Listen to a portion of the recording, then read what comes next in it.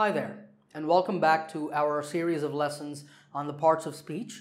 My name is Ganesh, and this lesson is all about nouns. In this lesson, we will learn about the different kinds of nouns there are in English, and we will also look at some rules to keep in mind when using them. Uh, we will first talk about concrete and abstract nouns, and then we'll look at common and proper nouns, which are a very important area. Then we'll discuss the very interesting collective nouns. And finally, we'll turn to the most important topic relating to nouns, and that is countable and uncountable nouns. Before we start, just remember for any questions, let me know in the comments section below, and I'll talk to you there. Okay, so first of all, what is a noun? I'm sure you know the answer to this. A noun is just the name of a person, place, animal, thing, feeling, or idea. For example, in this sentence, Graham likes to go to the zoo and see the animals.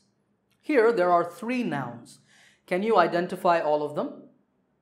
The nouns are Graham, a person, zoo, a place, and animals. Nouns can also be things like watch, t-shirt, etc. And all of these, people, places, animals, and things, are physical. That means we can see them and we can touch them. So they are called concrete nouns. That means they have a real physical existence. So what are abstract nouns then? Abstract nouns are nouns that don't have a physical existence.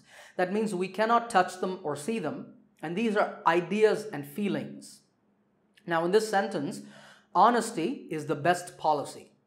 It's a very popular proverb in English. Have you heard of that? Uh, in that sentence, honesty and policy are both nouns, but they are abstract nouns. And in this next example, love is a powerful emotion. Love is the name of a feeling, like anger, happiness, or sorrow, and love is a noun. Emotion is also a noun. Okay, let's now talk about common and proper nouns.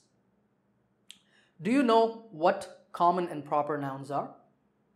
A common noun is a general noun, and a proper noun is the name given to a specific individual.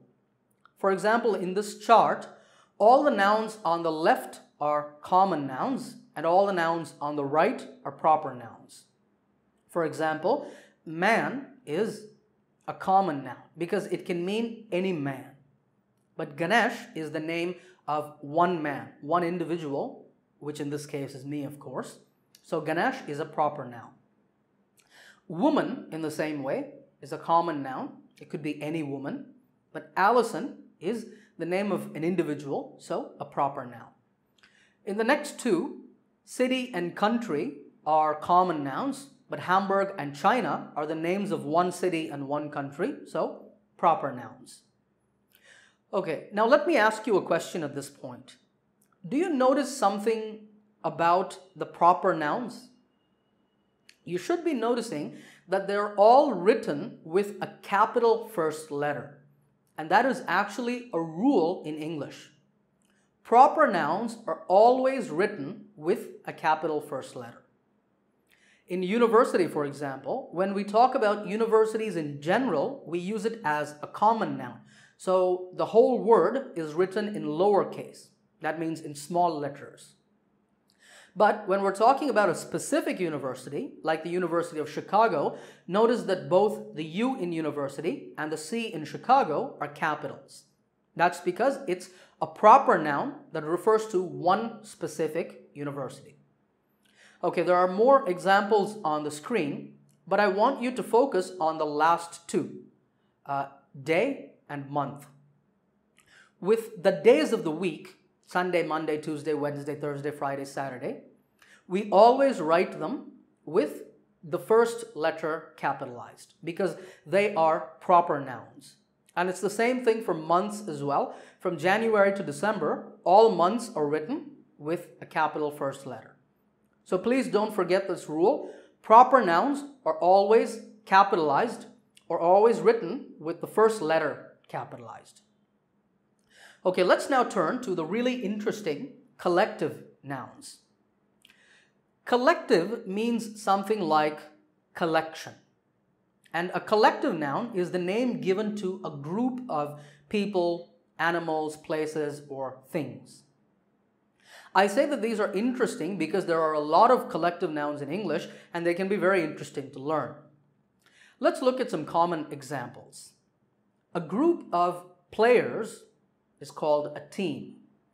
A, a, team is a collective noun and it means a group of players or it could even mean a group of workers in a company. Actually, there's another word for a group of workers or employees.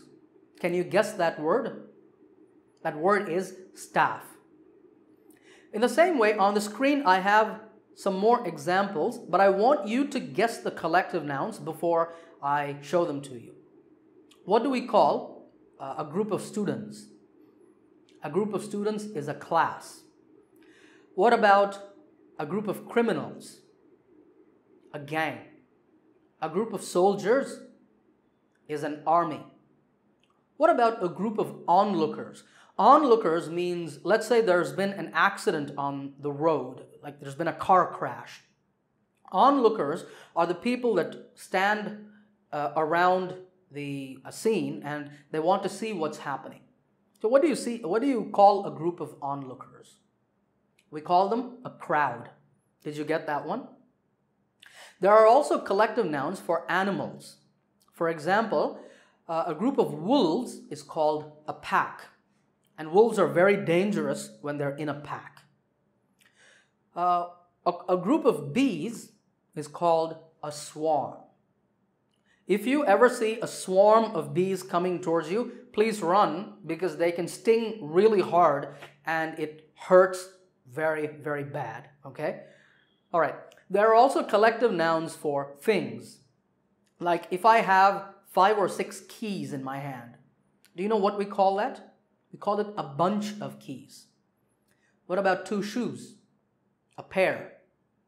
And um, when there are stairs that you have to take from one floor of a building to the next floor, do you know what we call that? It's called a flight of stairs. Okay, so like I said, these can be really interesting, but there's one problem.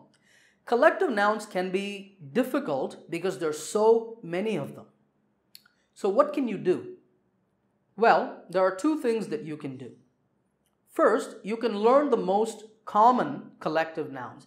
Uh, the examples that I just showed you are some very common collective nouns.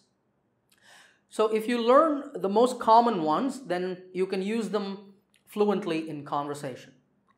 But sometimes you might be in a situation where you want to use a collective noun, but you don't know it or you cannot remember it. Like let's say you want to say a gang of criminals, but you cannot remember that word, gang. So what can you do?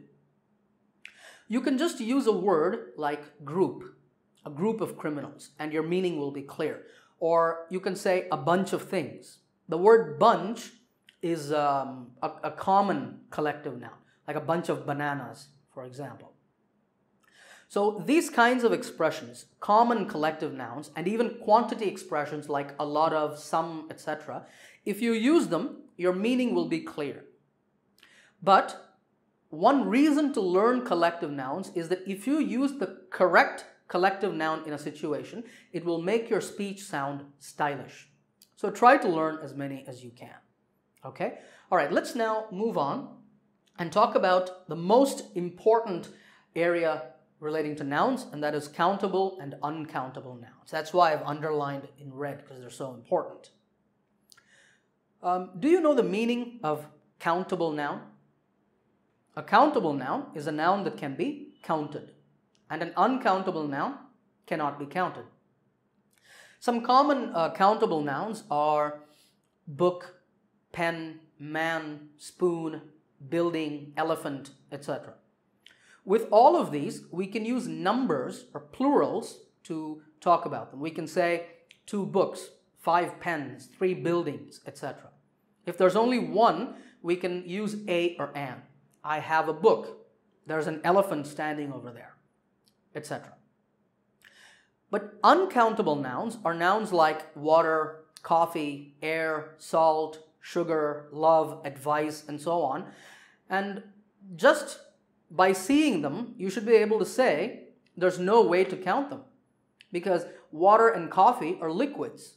Air is a gas. Salt and sugar are so small that if you try to count the individual particles, that would be an extremely difficult task.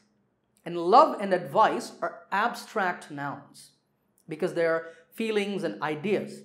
So most abstract nouns are uncountable. So with uh, uncountable nouns, we cannot use plurals and we cannot use a and an. That is very important. But we can use units to talk about quantity. For example, we can say a glass of water or two, glass of, two glasses of water, six tablespoons of sugar, or a cup of coffee, five cups of coffee, and so on. Or we can use units of volume or weight, like pounds, kilograms, ounces, and liters. This is how we talk about the quantity of uncountable nouns. To ask questions, we use the expression how many with countable nouns, like how many computers do you have in your office? And with uncountable nouns, we use how much. How much water is there in the bottle? Or how much sugar is there in the jar? Now, with any of these questions, if you know the exact answer, you can give it. You can say, there are 20 computers in my office, or there's half a liter of water, okay, or four pounds of sugar in the jar. But what about if you don't know the exact number or quantity? In that case, you can use quantity expressions. With countable nouns, we use a few to mean a small number. I can say, oh, there are only a few computers in my office. I don't know the exact number, but it's a small number. Or I can say, um, there's only a little water in the jar. So with uncountable nouns, we use a little. This is very important. And what about to talk about a big number or a big quantity? Can you tell me what we use? With countable nouns, we use many or a lot of. There are many computers in my office, or there are a lot of computers in my office. With uncountable nouns, we can use much but that's less common. It's more common, once again, to use a lot of. Like there is a lot of coffee uh, in the cup. So notice that a lot can be used both with countable and uncountable nouns. In the same way, the word some can also be used with both types. For example, uh, some computers in my office don't work. That's some number, but I don't want to say the number or I don't know the number. In the same way, we can say there's some tea left in the glass. Some tea is some quantity, but I don't know the quantity. So with both countable and uncountable nouns, we can use a lot of and some. Okay, now I want to tell you about an area where a lot of students make mistakes, so pay close attention. And this is when we want to make comparisons. We're going to take a couple of examples. Let's say that in my neighborhood, that is, in the uh, place where I live, there are five buildings. In your neighborhood, there are 10 buildings. So we can say that there are more buildings in your neighborhood. Okay? Just keep that in mind. And let's take another example, this time uncountable nouns. Uh, I drink two cups of coffee a day, but you drink four cups of coffee a day. So you drink more coffee. Okay, so far, so good. But what about the opposite? We can say that I drink less coffee. All right, but back to our first example, we said there are more buildings in your neighborhood. That means in my neighborhood, there are fewer buildings. This is where a lot of people go wrong. people say there are less buildings in my neighborhood. That is grammatically incorrect because with countable nouns, you cannot use less, you have to use fewer to compare. Okay, so remember these rules and remember not to make the common mistakes that we discussed here. All right, let's do a quick recap of what we've learned today.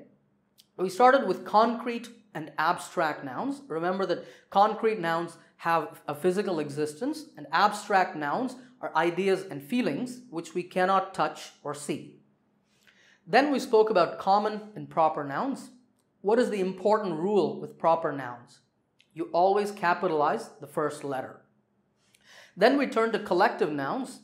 Remember to learn as many collective nouns as you can because that will help you to speak with more style.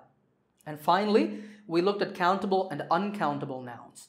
We discussed a number of rules. Remember that the most common mistake is using less with countable nouns. It's wrong. Less is used with uncountable nouns. Fewer is used with countable nouns. All right, so that brings us to the end of this lesson. I hope you enjoyed it. Remember to subscribe to this channel and I will see you in the next lesson.